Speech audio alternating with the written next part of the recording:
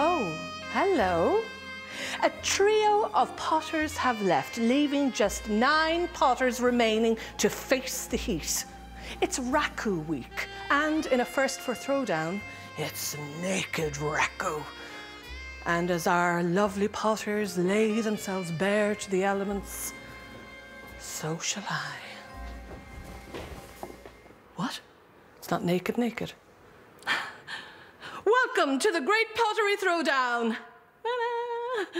Rose, get me some trousers. Last time, the potters got fruity, My actual plants will be slightly larger. sculpting some juicy ceramics, Oh, that's a big orange. and took on the blindfold challenge. I'm scared of the dark. After judging the lemons, grapes, and bananas, I really like it. It's fantastic. It was Shen Yu who won Best Fruits and claimed her first Potter of the Week. And although Lee's bowls cracked and Alan's rattled, it was sadly Sue's who lost her place in the pottery. This week, it's Naked Raku. I will be hiding over here. As the potters are laid bare to the Raku flames, burning hot vases and smelly combustibles. Are you getting a good whiff? Yeah. and a guest judge drops in for a floral challenge. Ooh. But who will come up smelling of daisies? Absolutely fantastic. And who will be smoked out of the pottery? Whoa. The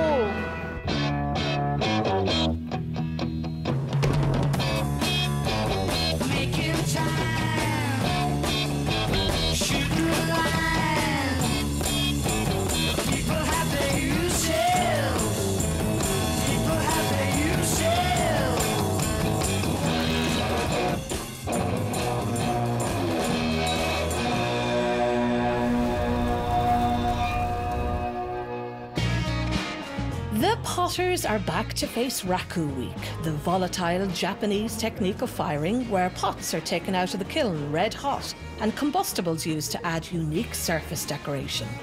And for the first time, we're doing it naked. I've never done naked raku before, but it's going to be epic. How can I explain naked raccoon? Um, Big, hot, scary, hot, A little bit intimidated. I'm fully clothed in that one, I know that much. Terrifying, and hot. Yeah, this week is scary. Good morning, Potters.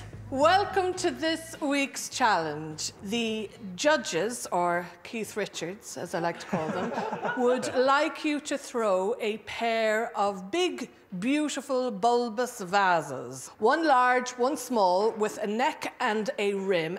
Now, Rich, we have never done naked raku before. What exactly is it? It's all about the naked surface of the clay. You need to make sure your vases have beautifully refined, pristine, smooth, burnished finishes.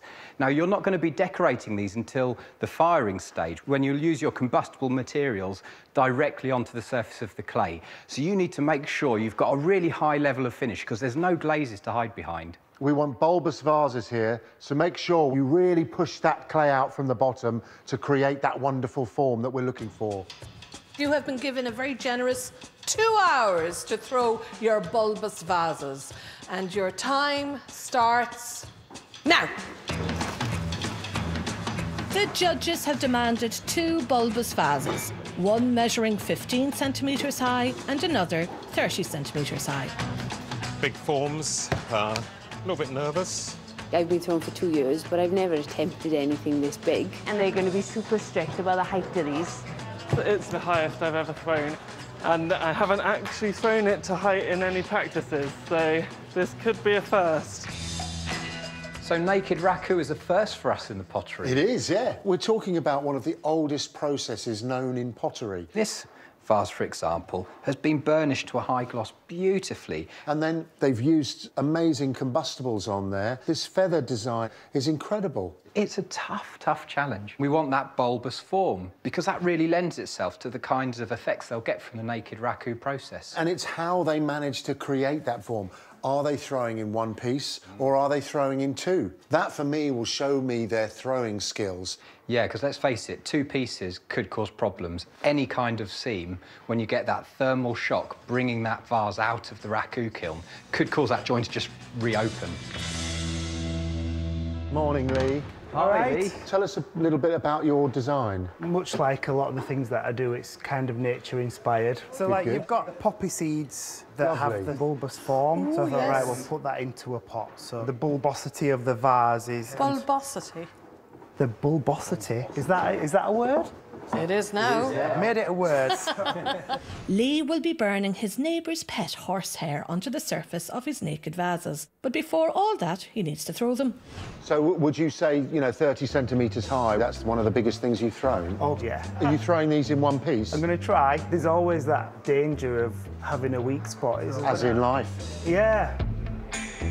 Throwing the largest forms the competition has seen so far won't be easy. Throwing in one should be quicker, but it's pretty tough, not gonna lie. The potters need to throw tall and wide, carefully pulling the clay up to achieve the height before pushing it out to form the bulbous shape. The problem is when you belly out, you lose the height. It's a little bit of a push for me. I have thrown things this big, but not very often, so I don't want to pull too quickly and mess it up. It's massive. Shen Yu plans to use smoke to subtly decorate two tall and elegant vases in the shape of symbolic teardrops. the piece will represent my journey into pottery. So the teardrop represents the blood, sweat, and tears that will inevitably come. Still a long way off yet. Throwing the large vase in one reduces the risk of joins cracking in the intense raku firing. It's just too big for me to throw in one. So for Sal and Hannah, Come on. throwing in two sections is an added pressure. I'm happy that won't come apart. That could be famous last words, of course. Sal will use emu feathers and horsehair to burn onto her vases, which will each have a narrow neck and a wide rim. I want a really nice sort of flat, wide Right, yeah. top. Keeping that much clay up here to then take out is difficult. It's all about placing the clay in the right place. In the right place, To yeah. make sure you get that form that you want. But the form that Lee wanted Wasn't quite the right shape. is proving a little elusive. I've decided, having thrown this to the height that I could, it's not quite there, so I'm going to do it in two. But rather than complete the vase with an addition to the top, All right, that's it. Done. Okay. Hannah plans to join her two sections at her vase's widest and most vulnerable point. Hi, Hannah. This is exactly when I didn't want to see you. No, I know. You, see that I can't right. throw. Come on, we're off. we've caught you at a delicate. You caught me at an awkward moment. So what's going on? This looks fun. Um, it's just how to get this bowl into that bowl. Hannah's aiming for an ambitiously wide moon shape form and will use lavender and sugar as combustibles to create softer marks on her naked vases. I just like this big Bulbosity. I, I, I'm not. Is No, that, is that what we're bulbosity. It's using a, it's a new Well, word. yeah, it's a new Oh, term, yeah. yeah. No, Lee, It's a real word, I'm sure it is. bulbosity. Yeah, it just like it instinctively appeals to me that shape, that big Bulbous um, shape. bulbous shape. Yeah. But Alan is pushing the bulbous boundaries with a different approach. My idea is to play with the silhouette, so I want to not have the whole thing as one bulbous piece, but have smaller bulbous pieces within it. If that wasn't complex enough, he's planned a hidden inverted neck on his small vase, and both will be decorated using an ancient and potentially dangerous technique. I decided to go with an Eastern European technique called obvara. So you take the piece straight out of the kiln and you dip it into this slurry of flour, yeast, and water, and it bubbles and creates this really interesting surface pattern. And then immediately from that, you quench it to stop the reaction. Yeah. Which is obviously a risk. So is there a danger it could crack then? Definitely. Yeah. Yeah. I mean, is this something you've tried before? Never tried obvara. Brave as ever. Brave as a yeah. Potters, that is one hour gone. Oh, time goes so quickly. Steady, steady. There's a few like very, very cool and intimidating pots. My form might be one of the most boring ones. It's supposed to kind of look like a dog sat down. Oh, villains. Boo. Adam has collected fur from his pet pug Egg and his friend's Labrador Duke to use as combustibles on his dog shaped inspired vases. My pug is going to be the small pot. So are we, are we looking at this or are we looking at this? Ah, have a look at that one over there. That's a flat pug. Egg and Duke aren't the only pets in the pottery. My inspiration is my budgies. My short one is going to be, you know, this big fat sleeping budgie. And then the uh, taller one is going to be slightly leaner and more like the budgies when they're awake. With their silhouettes immortalised in clay, Henry's budgies, Bonnie and Clyde, have also donated their feathers for decoration. Whenever you're home alone, they're always chirping away and they stop you feeling too lonely. One potter has been inspired by feathered friends of a different kind. So I've got my little um, feather dusters. So when I was little, I'd help my mum, you know, clean the house. So these are the things we used to use. So can you tell us about your design? My pots are inspired by the Greek pottery. No, I haven't been to Greece. I was going to ask you that. Previously inspired by Polynesia, America, and Morocco, this week Jodie's off to Greece with amphora shaped vases with large wide shoulders and a narrow base. It's the first time I've ever attempted anything this big. Oh, okay. And I can honestly say I never thought I'd even try. Well, there you go. It's amazing what you can do when you try. Well, that um, s- start getting emotional. but that's the wonder of, of this process. We push you, and you always deliver, and it's wonderful to see. And everyone, to be honest, they, they're just really pushing themselves. For the potters who've chosen to risk joining two smaller sections to make their larger vase, it's the moment of truth. I haven't really got time to make another one, so I've got to make sure this is really dry. If it's not dry enough, it'll sag when I put the other one on, and it'll be ruined. You've just got the one chance to do it. And the top one's slightly smaller than the bottom one. Making sure the joins are airtight is crucial. Get it. If they are to avoid explosions in the kiln. I'm just making sure I've got a really good seal. I would have liked to throw them more exact and then have a really strong join, but I'm not totally confident in my join. Up. I joined the top neck section, and as far as I'm concerned, that joint's a good one. But this flat top could literally collapse at any time. Mm-hmm. my fault, my design. With their larger pots out of the way, there's no time for the potters to rest. I'm going to spend about 20 minutes to throw the small one. So this one's going to have an inverted lip. This is the smaller one. Still a long way off yet. But these shapes are based on a seaweed called bladderwrack. Inspired by family trips to the seaside, Peter hopes his seaweed will be the perfect combustible to burn onto his pots. You- You've never done raku before? No, so I'm really looking forward to all the fire and explosions. Yeah. Explosion? Sincerely hope not. No. No, we don't want explosions. Potters, guess what? You have half an hour left. Oh, I've got to speed this up. Whoa! All part of the plan. To achieve the naked finish required, it's essential their vases are as smooth as possible. How are you getting? Oh, look at this. I've got very rough surfaces, so that's going to make my life a bit harder tomorrow. My clay's so wet, so sorry. Might be a little while. Yeah, I've got quite a bit to do. You can see this clay is quite rough. Trimming off any excess clay is vital. If their walls or bases are too thick, the extreme heat of the raku firing could cause them to shatter. Carry on.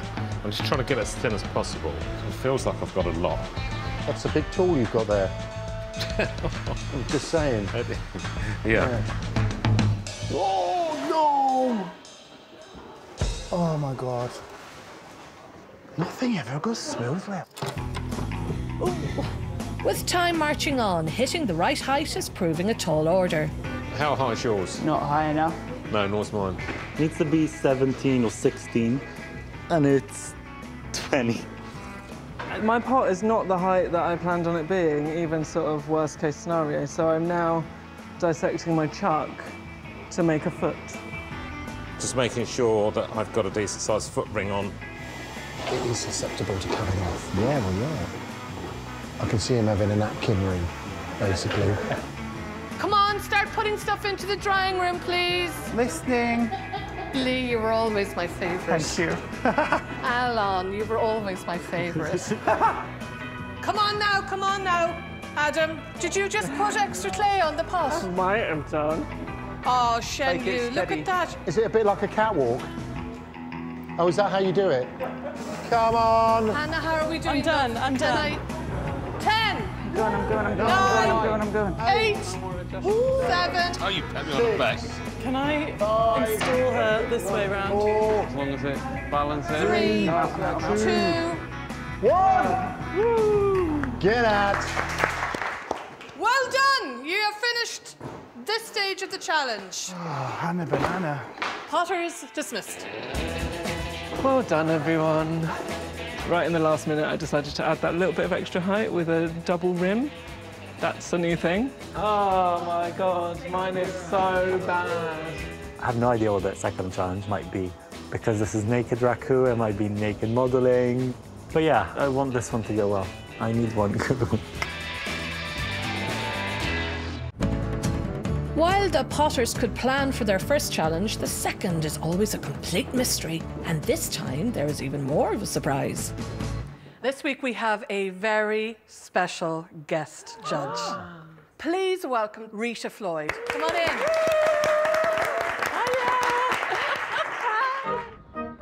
Stoke born and bred, Rita Floyd has been making bone china flowers for over 40 years. She's considered one of the finest floral ceramic artists working in the country, and her work is showcased all around the world. Wow. Oh, wow. Okay, so as you can see, we're going to be making bone china daisies. Okay? Lovely. You're going to make three, one opened, one partly opened, and one closed like a bud. So this is bone china. It's beautiful clay to work with. Why is it called bone? Like, is there bone in it?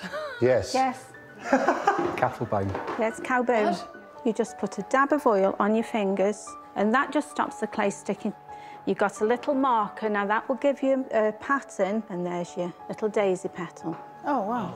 And do you find, Rita, that you, you break off just the right amount of clay? That just comes naturally because I trained when I was 15. Right. When I left school, making flowers, about 30 odd dozen a day because you were paid by the dozen.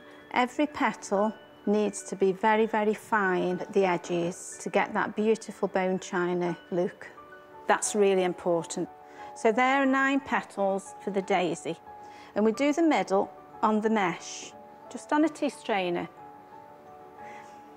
And then the petals go on And obviously, I suppose the spacing of those petals is quite very, important. Very important that you get the proportions and the spaces right because if you don't, you won't get a completely round shaped daisy. So what I'm going to do now, I'm just going to bob these leaves. That leaf just adds a little bit more depth, doesn't it? I think so. Yeah. Now this is an important part. Keep squeezing underneath, getting rid of all the thick clay. And you've got that beautiful flower shape. And then just roll it. And then you've got your... That's like a magic trick. Stem.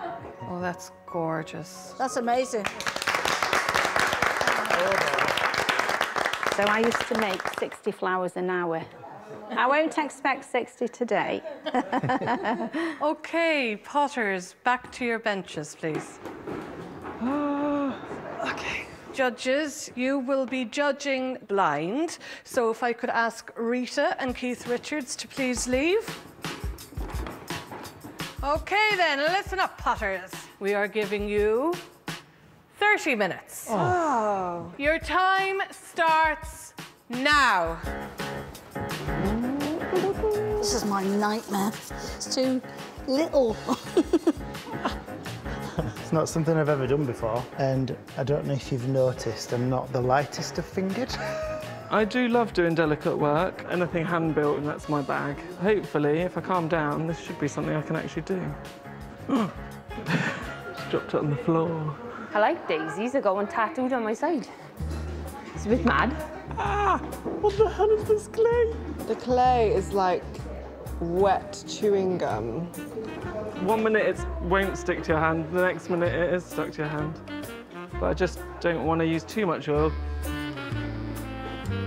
To make these delicate petals that stand upright do what you want is quite tricky. Don't like that one. Rita makes it look really simple. And it isn't simple. You have to work this clay quite a bit before you actually use it. If you work it too much, it's going to just flop. So I pride myself on being able to keep them nice and stiff. I'm going to do the open one first, I think. Oh, wow. So that is the middle of the daisy. Oh, I love this. You really, really need a delicate touch. And at the moment, I'm just trying to get the shape of the leaf. Oh my god. This one's pretty terrible. What's going on here? Not flower making, that's for certain. Look at this fella. We need some water. Maybe singing to it would help. Daisy, Daisy, give me your answer do. Go and make flowers, not like Peter do. Potters, no time to smell the roses. Ten minutes gone. Oh, no way. What?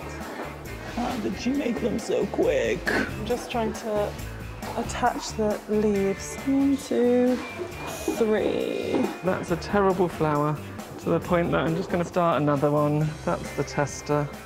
Terrible. So flippy floppy. Does that look like a daisy? No, it looks more like a sausage on a stick. They're so fiddly. How does she kind of just went like that, didn't she? Ooh, ooh.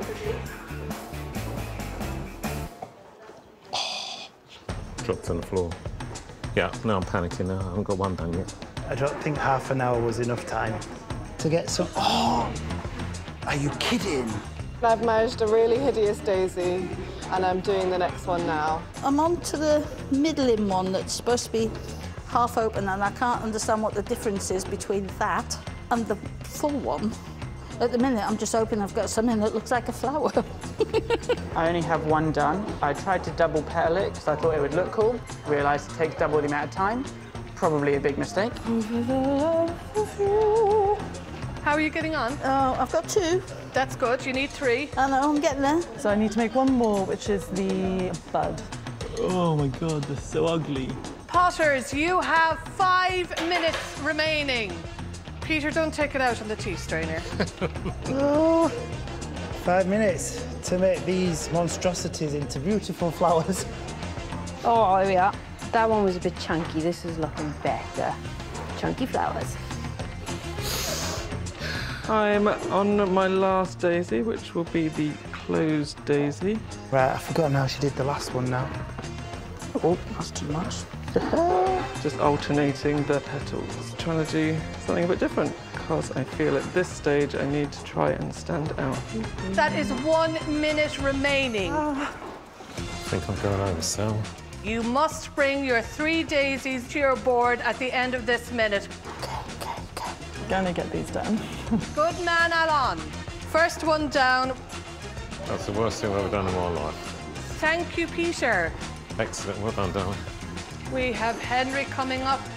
Oh, those are so good. Adam. Oh my word. Wonderful. Hannah. Come on, Jodie. Come on, Jodie. We're only missing one. got it, you got it, Five, you got it, you got it, you four, three, two, one. Time is up. Wow. Well done, Potters. Rita will now judge her bone china daisies, but she won't know whose belong to who. I'm so proud to see you making my daisies. Absolutely brilliant. Thank you. Thank you. She is expecting three one in bud, one half open, and one in full bloom. Rita will now rank the Potter's daisies from worst to first. So, in ninth place, whose is this, please? They're just not quite the round shape that I was asking for for a daisy. Your petals just a little bit out of shape. And in eighth place, who's this, please? You've just used a little bit too much oil on your clay and it's slipped all over the place. In seventh place, whose is this? A little bit thick under your heads. And I was looking for a closed up bud, but really, really good try. So number six, okay?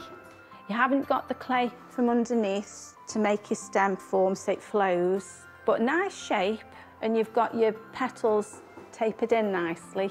Oh, thank you. Okay, well done. Number five, very well done. Now, look at the colours there. They are lovely how they contrast.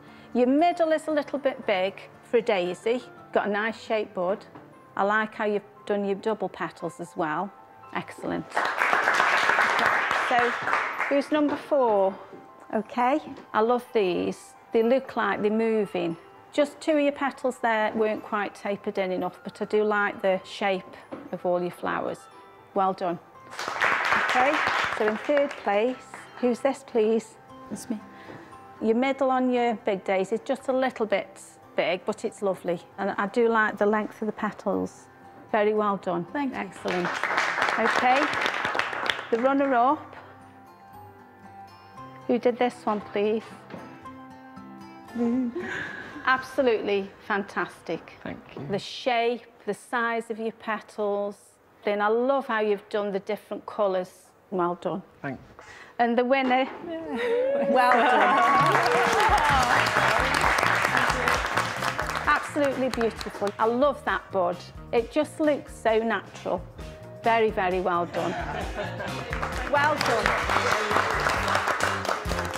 What a great week to do well. Can't kick me out now. Well, they could. Famous last words. They were awful. It was like trying to manipulate butter with sausages.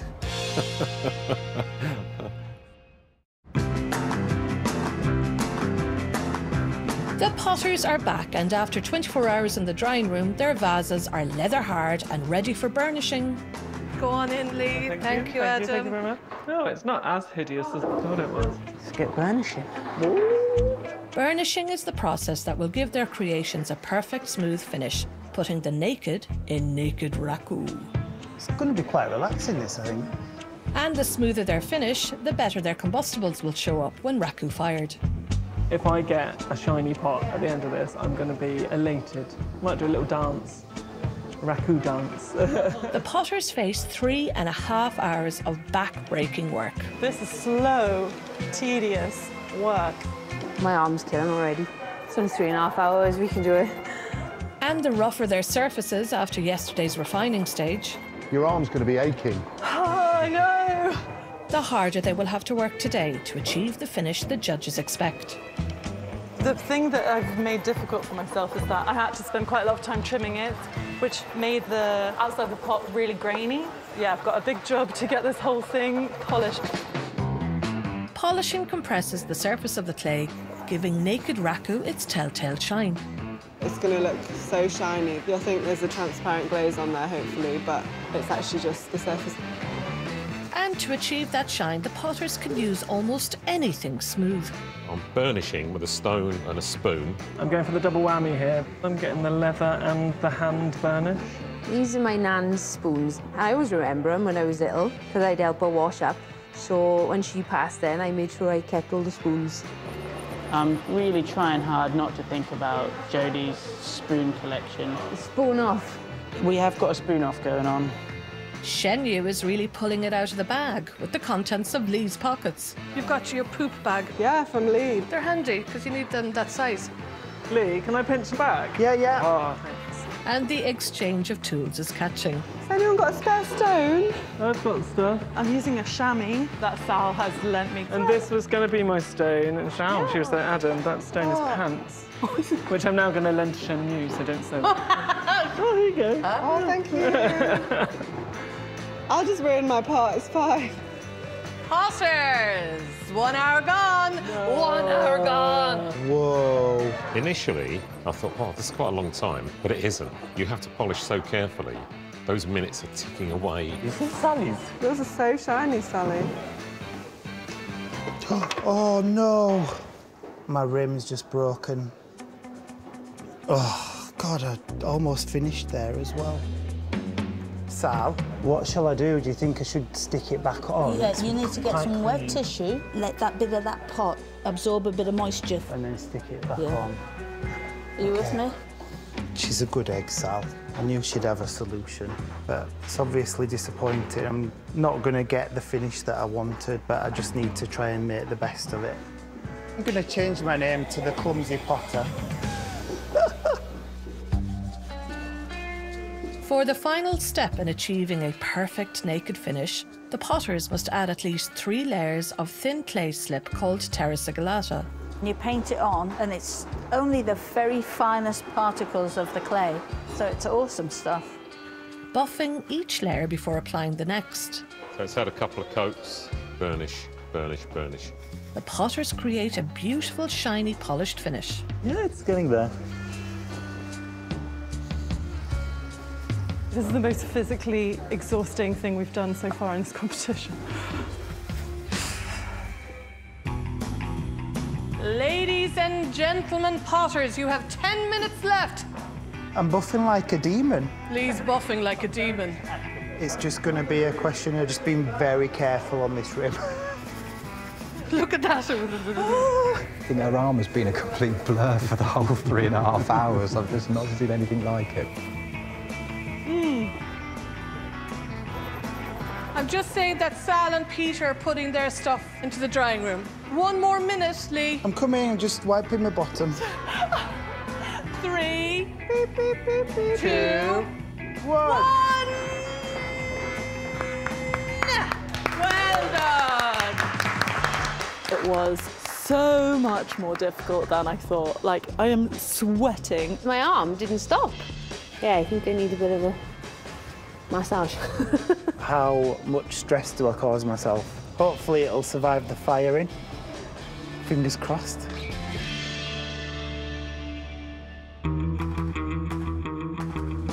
Forty-eight hours later, and it's time for the first ever naked raku firing in the pottery. Absolutely everything is exciting about Raku. The smoke, the fire, the smells. Morning, Potters. Raku, anything can happen. Can overdecorate, can ruin it with just one thing. If you bottom the pack, there's a fair chance you're on your bike. The vases have been bisque fired overnight and are ready to face their ultimate test of strength against temperatures of nearly 1000 degrees centigrade. Morning, Potters. Yoo-hoo. Up here. Good morning. As you can see, our Raku kilns are ready. And joining Rose today is our Raku expert, Andrew. Hi.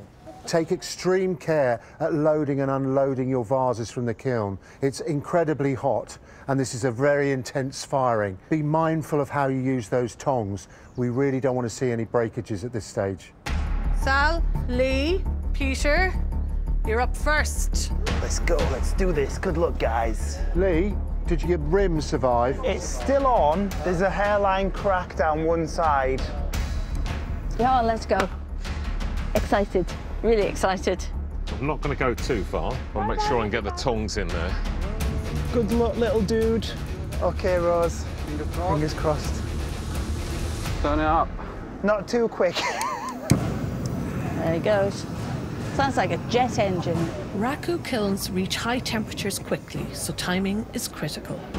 The potters must decide what temperature to heat their vases to and when to take them out. We're at 600. We're going to crank it up. Yeah, yeah, yeah. If their vases are not hot enough, the combustibles won't burn at all. But too hot, and the combustibles will burn too quickly and not leave any decorative marks. 891. Come on, let's go. Uh, uh, uh, uh, uh, don't fall over. Okay. Whoa. Sal now faces a race against time to decorate her vases before the surface cools. So I reckon three minutes. Oh. I'm just putting some sugar on. The sugar's a good temperature gauge. The combustibles burn at different temperatures, so getting each one onto the vase at the right moment is crucial. Just want not too much of anything, really. I quite like them slightly minimalist. I think that's enough. I've made another difficult shape to pick up. I want the feathers to look like they're tumbling down the side of the pot. I'm very happy with that. There we go, I'm good. Temperature is at 920. Okay, that's fine. It's still on, the rim's still on. Woo, hot pots. Oh, holy moly moly. I'm only putting horsehair on it. Look at it burn! Lee's horsehair is making more than just marks on his vase. Are you getting a good whiff, guys? Yeah. We're certainly oh, getting it, yeah. Yeah, that's why you're so far up, isn't Yeah. it? This is the big boy. With this one, there's going to be more at the bottom than the top. You need a hairy bottom. It's hard to know when to stop. Does it make you more nervous or less nervous seeing More that? nervous More now. nervous. I'm there now. well done, Lee. Okay, Peter, we're at 944. Let's go. Bye. I've got this spike because I want the inside of the pot to go really, really black. This is the stuff from Margate. I've got some donkey hair. Donkey hair. Yeah, that's nice. I'm ready to rock and roll, yeah. The sugar should crystallise and burn black. That smells amazing, that sugar. I'm hoping that the seaweed is going to introduce some reds and some pinks. Oh my, that does not mix well with the sugar. It's the bizarre colour coming out. Doesn't look good, does it? That'll do. Oh, no. It's just come off. How has that come off? It's just thermal shock. Right, we're at 9.10. Take it out. She's hot, so she is. Next up, Hannah is using sugar and lavender to create a multi-layered pattern. I want to have mottled, dark areas. Oh, wow. Oh, it smells lovely. This smells of a hot day in Provence. Shen Yu is aiming for a simple smoked effect. The combustibles underneath and just letting that fume is rather nice, isn't it? Sawdust, so that hopefully it'll get quite a nice smoky bottom. And then I'm just going to use horsehair. Keep it simple. Oh, thank you, thank you. Adam will immortalise Pet Pug Egg burning his fur onto his small vase, I just want to make sure there's some smaller markings down at the bottom. giving Henry an idea. There's a haircut happening over there. Snip it all off. He's decided to use his own hair as a combustible. Yeah. Nice. You've got plenty of hair here. I'm so excited. as well as feathers donated by his pet budgies. Little tiny baby feathers. Anything? Oh, there we go. Woo! And he's not alone. Good grief. Focus, Jodie, focus. Jodie is using her favourite feather duster. Ooh, wow. So now it's going to be Henry hair all the way. I never thought that I'd be using my own hair to do pottery, but I'm so happy that I am because it's so cool. That one's on. That one burnt off. They're it's so burning hot. off. It's too hot. It's all about timing, isn't it? Are you sure you want to go again? You've only got three feathers left. Oh, stay on, stay on, stay on. Nice. Do it, do it. That stayed on. Yes. Woo! Right, horse here now. Right, we're too cold now. There's no more I can do to this. Done. Done. Woo! Oh, thank goodness they come out. Seriously, like the adrenaline then. And then there was one. Alon has brought to the pottery his own yeast brew, which he'll use in his risky obvara technique. It's just flour and water and yeast. It's been fermenting for like seven days. Okay, you ready? I'm ready. Uh-oh, Mr. Explosive. If everything goes according to plan, the mixture will create a bubbling liquid design. The danger, however, is the sharp change in temperature could cause thermal shock I will be hiding over here. with potentially devastating results. The reaction of the yeast burning onto the hot surface is then fixed by plunging into water. That clay is bomb-proof. Ready for the big one? Let's go. Dipping it in. Okay, be careful, please. My nerves can't take it.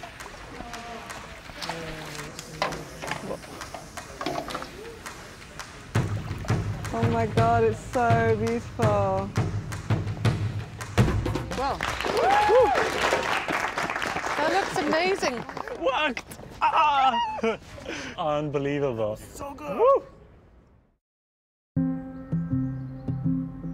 It's judgment time as the potters present their naked raku vases to Keith and Rich. Lee, please bring your naked raku vase up for judging.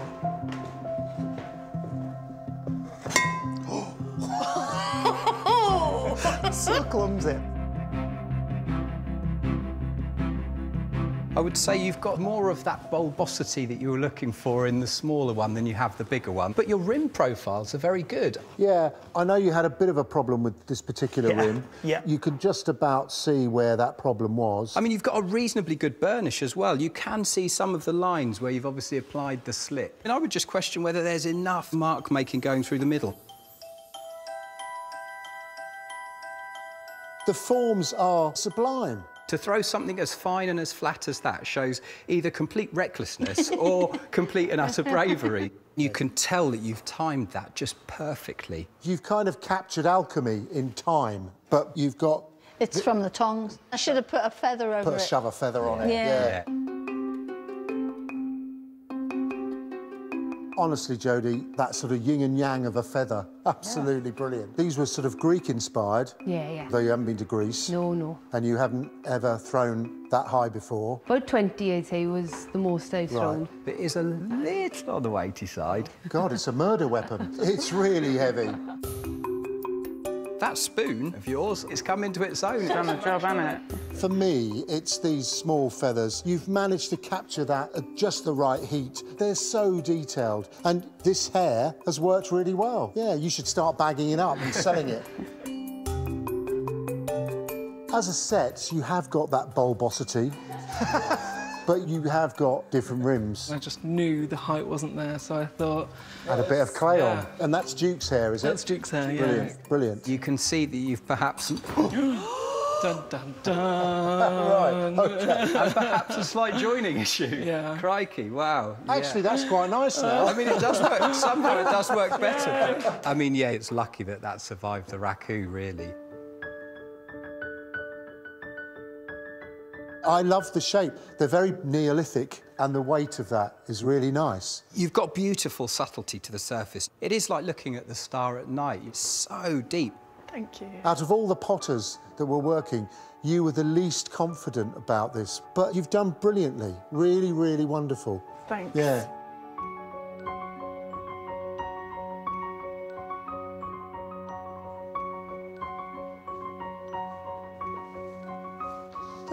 Absolutely brilliant. Oh, thank you so much. Absolutely fantastic. The way you've got that smoky finish there, I look at these and I just, I look at them and I, and I just know straight away that you've been so conscious and so thoughtful about how you were going to apply that stuff. And exactly the kind of bulbous vase we were looking for. Thank you. Every time we say to you, just rein it in, you know, you've pushed too far. But I've got to commend you in terms of the surface decoration. You've done so incredibly well. You take risks, but this has really paid off, absolutely tenfold. And the fact the thing didn't crack is a testament to your making. In terms of the form, this one doesn't have a neck. Inverted neck? Inverted, neck. Inverted Well, see, there you go again. Yeah, you yeah. just try, you're pushing the boundaries, aren't you? Although they're both bulbous in their own way, they're quite different. Has something happened with the base of this one? Yes, I had a small ring on the bottom. It just came off. Ah, OK. yeah. But I love your inventive use of combustibles because, you know, we asked for a rim and actually putting that carbon inside is a good way of highlighting that rim. Fantastic. Some genius ideas.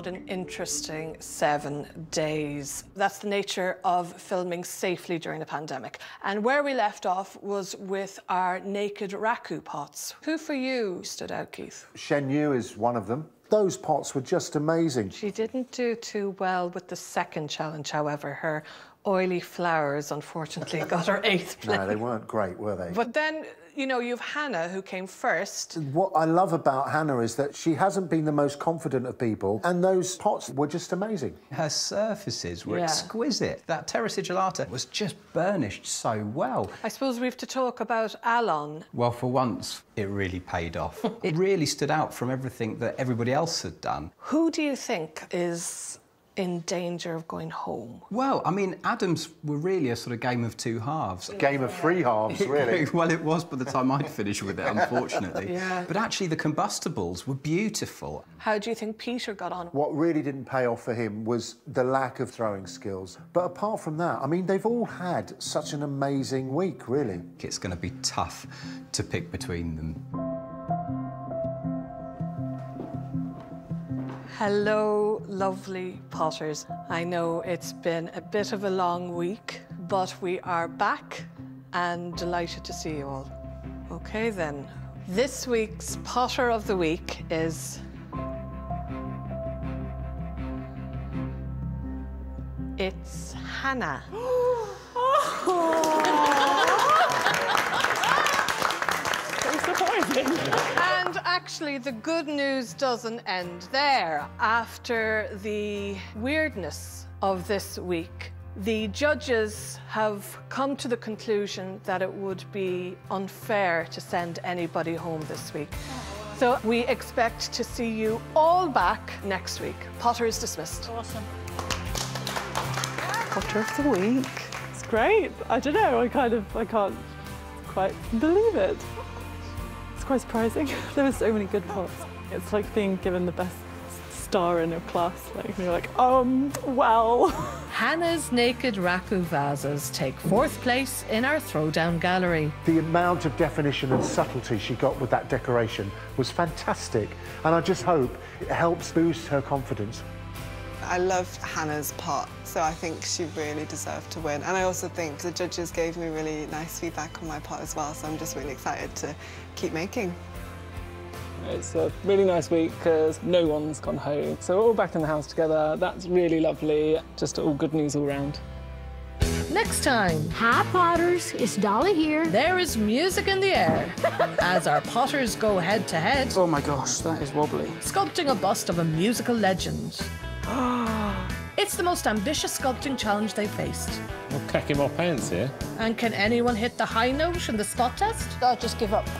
Okay, I've had enough. Who will be crowned Potter of the Week? and who will be bottom of the charts? Oh, I could feel that. I'm sorry, Dolly. And you can see what's happening to Dolly at the same time next week. And if you're looking for a new series to binge, I mean, who isn't these days? Add Secret Safari into the wild to your list, and of course, it's on all four.